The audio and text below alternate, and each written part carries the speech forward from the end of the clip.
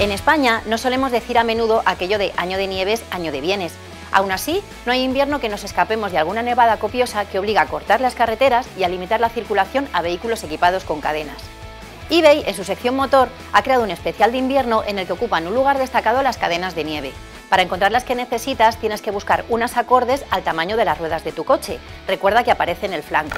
También puedes filtrar la búsqueda por marcas.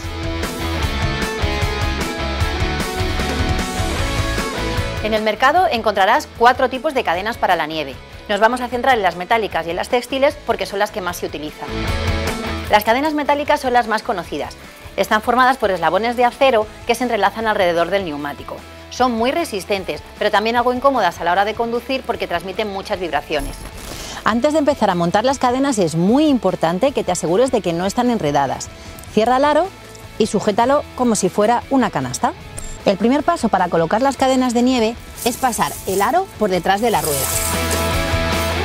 El truco está en dejar a cada lado las dos partes del tensor y que no se enreden las cadenas en el proceso.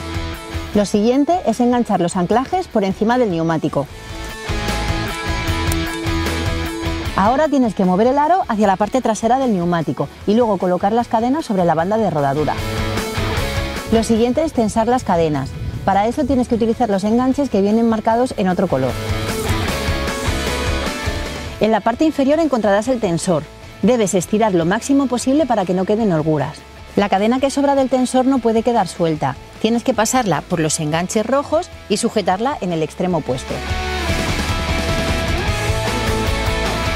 Y estas son las cadenas textiles, que cada vez están ganando más adeptos, porque aunque son menos resistentes, también resultan más fáciles de instalar y no hacen tanto ruido como las metálicas. Mal llamadas cadenas, porque en realidad son de tela, tienen dos partes. Una rugosa, que se coloca sobre el neumático, y otra calada, que debe quedar en el centro de la llanta. La funda se coloca de arriba hacia abajo, asegurando que el punto de unión de las dos tiras queda siempre en el centro de la llanta. Tendrás que mover el coche hacia adelante para llegar a la zona de la rueda que queda pegada al suelo y cubrirla con la funda. Finalmente comprueba que no quedan pliegues y que las cadenas no se pueden salir al avanzar. Elijas las cadenas que elijas, recuerda que solo debes instalarlas en las ruedas motrices. Es decir, si tu coche es tracción delantera, tendrás que ponerlas en las ruedas delanteras. Si el tuyo es un coche de tracción trasera, tendrás que ponerlas en las ruedas traseras. Y si tienes un coche 4x4, tienes que instalar las cadenas en las ruedas motrices y directrices, que son las delanteras.